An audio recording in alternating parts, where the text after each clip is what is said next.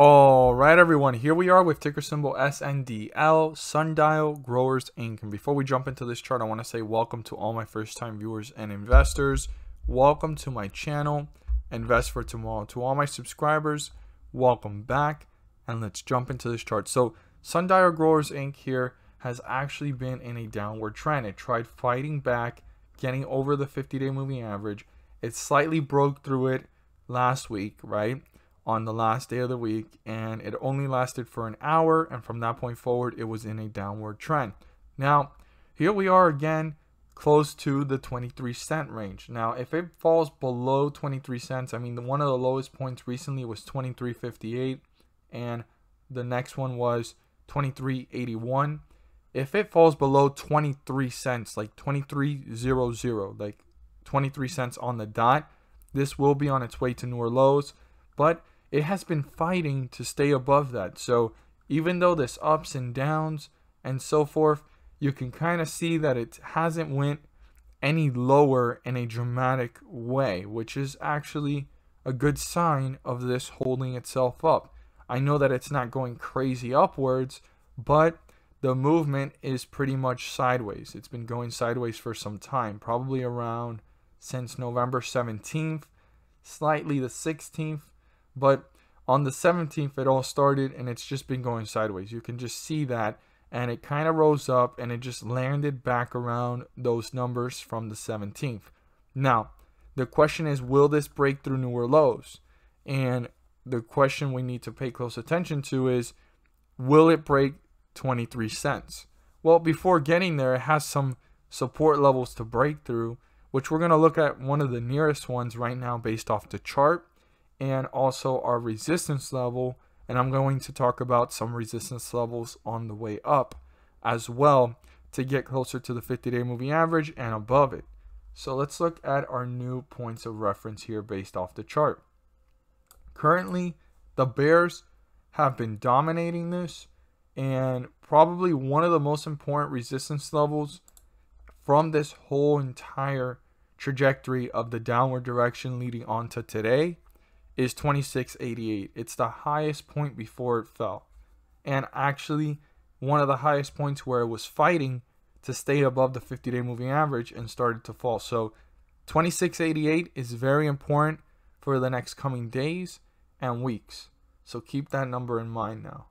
Now, our resistance level is the highest point before this continued to fall because here you could see it was pretty steep and there's a few resistance levels before reaching this one on the way down, right?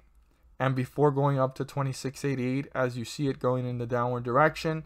And I'm going to talk about one more resistance level apart from this one, but this is the highest point before this continued to fall into bearish direction. So you're going to want to pay close attention here to what's going on based off these numbers and also the 50 day moving average and the resistance level I'm about to talk about. So the 50 day moving average is 2532. I'd write that down. Super important number. 2532 is the point of reference that lets us know if we're below the 50 day moving average in bearish territory or if we're above it and we're in bullish territory. Now, the first resistance level once the bulls can break through 2532 is 25 95.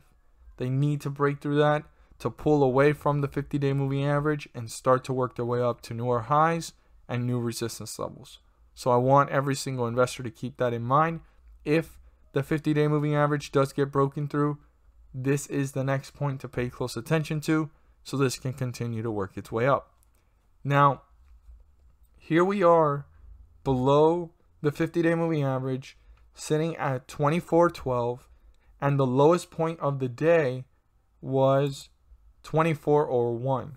Now, if 2401 gets broken through, you still want to pay very close attention to how the stock is reacting, and you have that window between 2401, 2480, and then 2460, which are some of the lowest points reached previously from the previous days of last week, and those are the lowest points from the whole entire bearish run to pay close attention to because if those points do get broken through, you're going to want to pay close attention to the behavior between 2401 and 2380. And then if 2380 gets broken through the behavior between 2380 and 2360. Now, if 2360 gets broken through, you have a big gap between 2360 and 23 cents to see how it's reacting. Are the bulls even trying to reappear in any of those sections? Now, if 23 cents gets broken through, this could start to see newer lows, and then we need to pay very close attention to how it's reacting on that day because the next uh, support level after that is way down at the 18 cent mark, and we need to pay more close attention to how it reacted throughout that day. But right now, the most important support level is 2401. I want to emphasize that to all investors. Pay very close attention to how the stock is reacting. If it breaks through 2401, how quickly is it moving to newer lows, or are the bulls trying to reappear? Now, on the other sector of things, where the bulls actually want to cross and start to work their way up closer to the 50 day moving average, is 2475. That's our resistance level, the highest point before continuing to fall. And if 2475 gets broken through, this needs to be turned into a support so that the bulls can continue to work their way up. Now, 2475 does not mean that the bulls gained control or took over the chart. This is just a beginning catalyst and an indicator for us as investors to know where this is heading. And if this gets broken through and turned into a support, the bulls are getting one step closer to the 50 day moving average to get back into bullish territory. So you're going to want to still monitor how this is reacting. But 2475, I want to emphasize that, does not mean that the bulls have gained control. I want every single investor to be aware of that. This is just the beginning catalyst to start to work its way up. So 2475 gets broken through, turn into a support, and the bulls are on their way to probably reaching newer highs and getting closer to their goal to get back into bullish territory, which is breaking the 50 day moving average and breaking above it. But as always, if you found this video helpful and informative, please do so and subscribe. Don't forget to click on the bell to turn on all notifications and not miss a single video that I post. Share this with your friends and community. And don't forget to hit the like button to let me know you watch this video. Thank you guys so much for watching and let's make some money. At the end of this video, there's going to be a pop-up video. And in that video, I will be discussing about the S&P 500 index and how it's been rising several points on scheduled dates. As you see here on the graph, these circles are the dates that the pumps have happened and I use them as examples to show you guys how much the stocks have risen and the S&P 500 index rose on those dates. And the reason why it's rising is due to the fact that the Federal Reserve is pumping the markets. On these dates, the charts and the dates speak for themselves as we can see it here.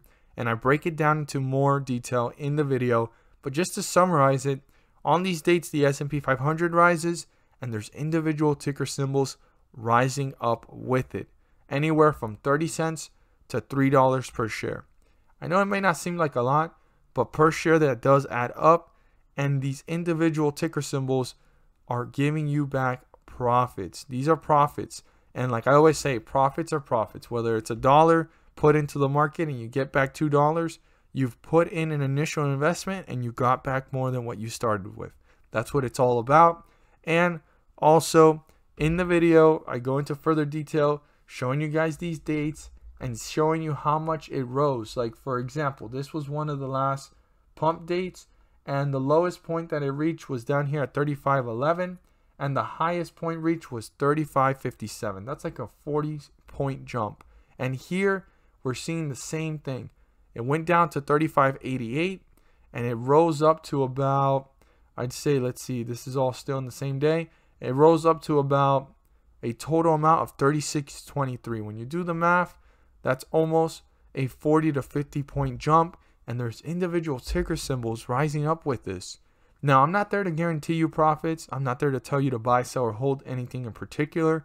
I'm just here to inform every single investor on the great news, on the opportunity to maximize profits and minimize losses. You have to do your due diligence and research, but these charts and the dates speak for themselves. I mean, this was probably one of the largest jumps that I've seen in the last couple of pumps.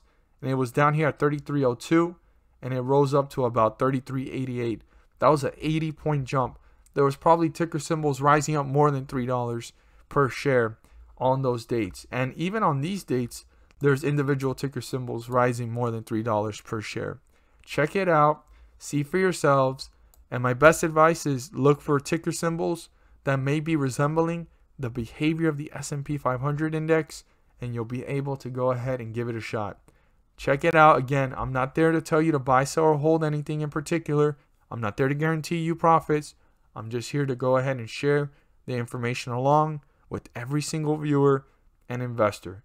The video should be popping up soon. If you haven't seen it already, pop up. There is the link down below in the description. Thank you guys so much for watching and let's make some money.